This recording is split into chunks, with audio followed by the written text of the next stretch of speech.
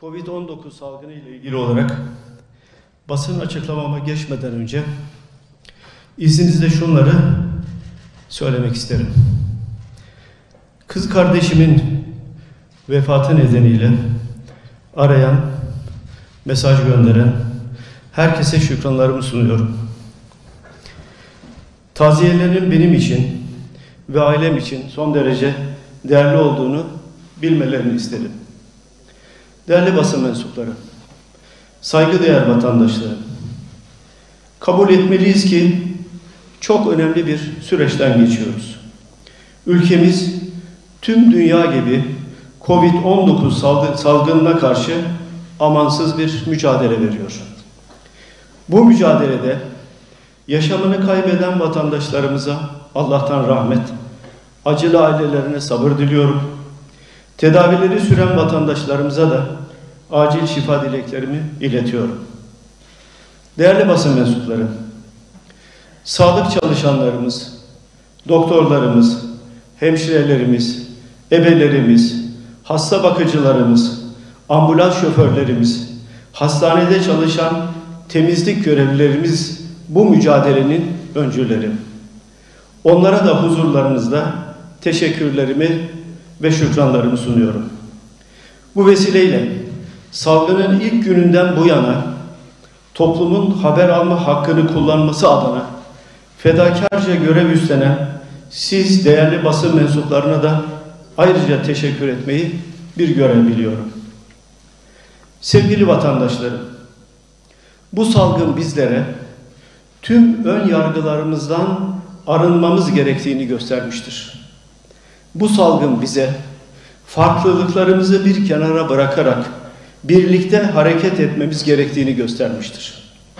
Bu salgın bize yaşam tarzımız ne olursa olsun hep birlikte dayanışmamız gerektiğini göstermiştir. Bu salgın bize ancak herkesin kurallara uyması halinde sağlıklı kalınabileceğini göstermiştir.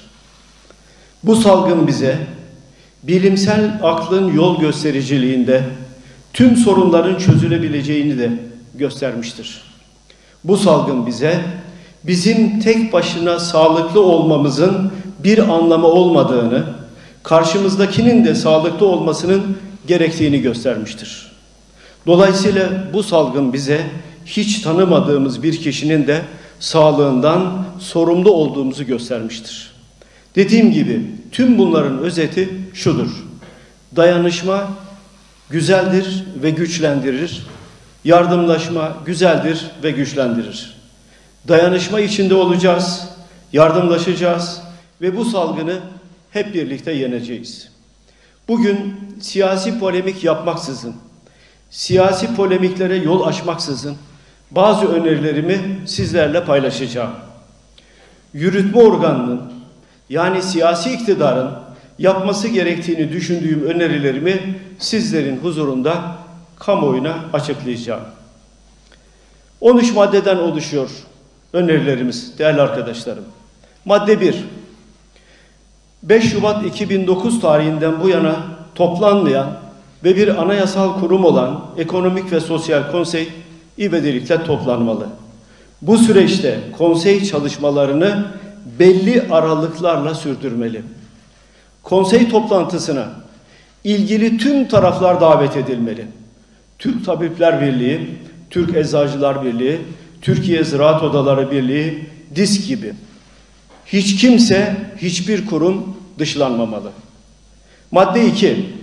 Sağlık kuruluşlarının ve sağlık personelinin tıbbi ve konaklama ihtiyaçları öncelik ve ivedilikle giderilmeli. Madde 3. Kamu sağlık kuruluşlarındaki eleman açığı hızla giderilmeli. Ayrıca kanun hükmünde kararname ile görevlerine son verilen ve haklarında kesin hüküm bulunmayan sağlık elemanları yeniden görevlerine iade edilmeli. Madde 4. Hem salgınla mücadele hem de milli güvenlik açısından hayati öneme sahip askeri hastaneler süratle yeniden açılmalı. Madde 5. Salgınla mücadelede merkezi yönetimle belediyelerin eş güdüm içinde çalışmalarına azami dikkat edilmeli. iktidar partisinden olmayan belediyelerin sorunu aşmak için gösterdikleri çabalar engellenmemeli. Bu bağlamda A. Hazine ve Maliye Bakanlığı ile İller Bankası'nca belediyelere yapılan ödemelerin bir yıl süreyle hiçbir kesinti yapılmak, yapılmaksızın ödemeleri sağlanmalı. Belediyelerin borçlanma limitleri artırılmalı. B. Belediyelere ve dağıtım şirketlerine ödenemeyen elektrik, su, doğalgaz faturaları nedeniyle borçlu konutların elektriği, suyu ve veya doğalgazı kesilmemeli ve faiz işletilmemeli. Madde 6. Cumhurbaşkanlığı veya bakanlık kararlarıyla geçici olarak kapatılan iş yerlerinde A. Esnafın kira harcamaları AVM'ler hariç Maliye ve Hazine Bakanlığı'nca karşılanmalı. B. Bu iş yerlerinde çalışan işçilerin ücretleri kısa çalışma ödeneğinden yararlananlar hariç asgari ücret üzerinden ve iş yeri kapalı kaldığı sürece işsizlik sigortası fonundan karşılanmalı. C. Bu iş yerlerinde çalışan işçilerin kredi kartı ya da tüketici kredisi borçları bankalar tarafından 3 ay süreyle faizsiz ertelenmeli. Madde 7.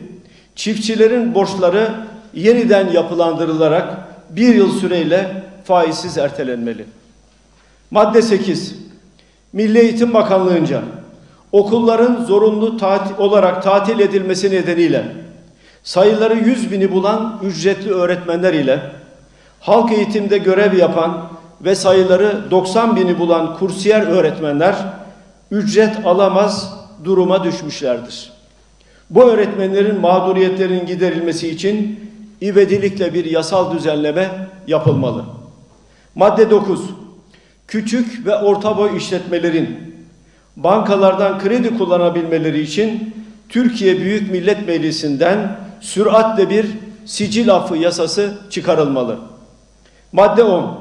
Salgından en fazla etkilenecek turizm, eğlence, konaklama ve ulaşım gibi sektörlerin banka kredileri yeniden yapılandırılmalı, turizm tanıtma fonu ve konaklama vergisi getiren yasa yürürlükten kaldırılmalı. Madde 11. Bu süreçte yoksullar, işsizler sağlıklarıyla uğraşırken bunların ödeyemedikleri faturaları düşünmemeleri için süratle bir aile yardımları sigortası yasası çıkarılmalı. Her yoksul aileye asgari 2000 liralık gelir güvencesi sağlanmalı. Madde 12. Bu süreçte kendi sağlıklarını tehlikeye atarak günün 24 saati çalışan sağlık personeline kriz süresince her ay iki maaş tutarında ödeme yapılmalı. Ayrıca sağlık personelinin uzun süredir beklediği sağlıkta şiddeti önleme yasası da ivedilikle çıkarılmalı. Madde 13.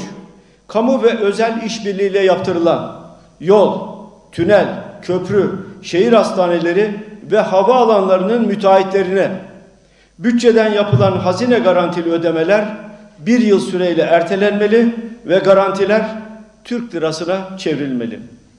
Evet değerli arkadaşlarım, 13 maddeden oluşan bir öneri paketi. Özü şudur, Cumhuriyet bilhassa kimsesizlerin kimsesidir. Özünü oluşturan budur. Yoksullara, işsizlere, işini kaybedenlere sosyal devletin babalık yapması ve sahip çıkmasıdır. Dolayısıyla Cumhuriyet bilhassa kimsesizlerin kimsesi olacaksa süreci böyle başlatmamız gerekiyor. 13 öneriyi milletimizin ve yürütme organının takdirine sunuyoruz. Değerli basın mensupları, bir çağrıyı da işverenlere yapmak isterim. TOP, TÜSİAD, MÜSİAD ve tek TESK yöneticilerine ve üyelerine sesleniyorum. Bu süreçte faaliyetlerine ara veren hiçbir işletme çalışanlarının iş aktine son vermemelidir. Değerli basın mensupları, sözlerime burada son verirken bir kez daha ifade etmek istiyorum ki aklın ve bilimin ışığında hep birlikte başaracağız. Bundan hiç kimsenin endişesi olmasın. Hepinizi saygıyla selamlıyorum değerli basın mensupları.